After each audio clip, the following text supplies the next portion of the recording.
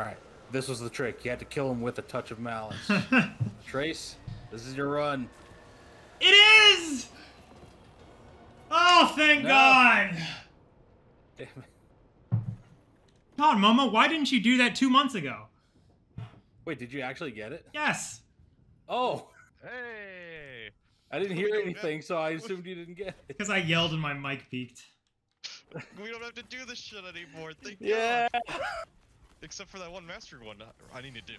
Yeah, yeah. Still need to do the challenge and getting him the catalyst.